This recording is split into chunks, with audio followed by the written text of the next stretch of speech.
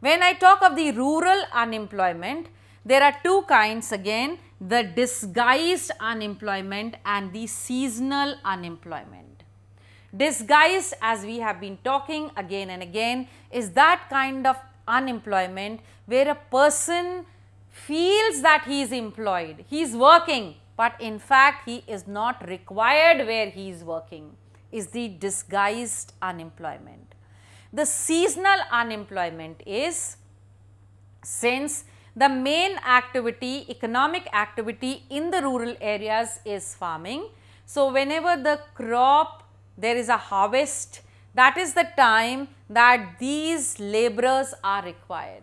So, seasonally they are required and the time when there is no activity in the farms they are left unemployed.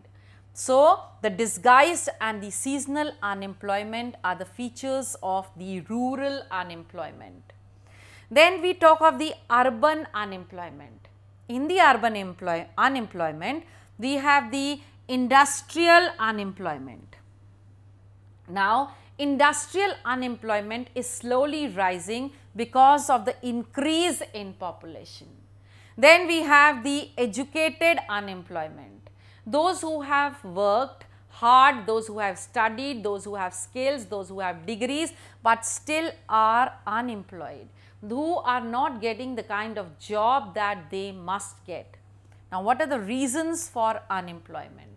The reasons for unemployment are first of all the population is increasing at a rapid pace and we are not able to provide employment or jobs to the people at the same pace.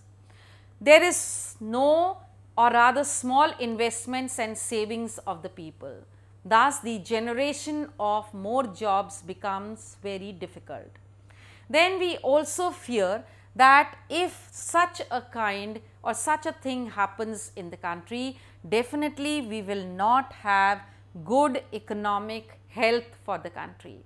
Thus, the factors which are cupulating, which are multiplying the unemployment in the country have to be washed away with.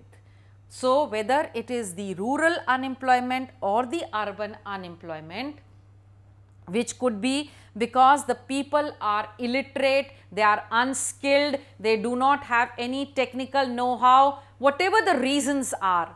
But when there is unemployment, it definitely leads to poverty in the country, unsatisfaction in the country, not good for the health of the economy of the country. Thus, we have to generate more and more jobs for the people. And that was all about your chapter. Thank you.